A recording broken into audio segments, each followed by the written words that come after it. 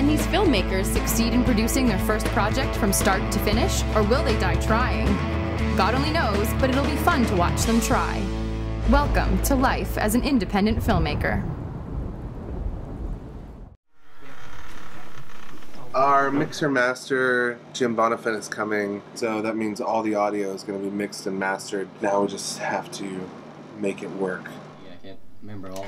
Hi, my name is Jim Bonnefond. Usually, what I do in the recording studio is produce music, and I thought this would be an excellent opportunity for me to get involved in doing some sound mixing for film. Jim's role is to blend everything in the scene together to make it sound good.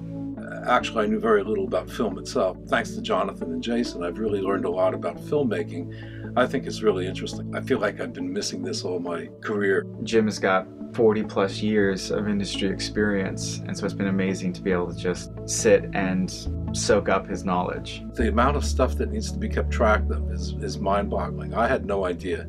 I'm sure people that see movies don't ever think about that sort of thing, but it's going to be way different for me now. It'll never be the same watching a movie.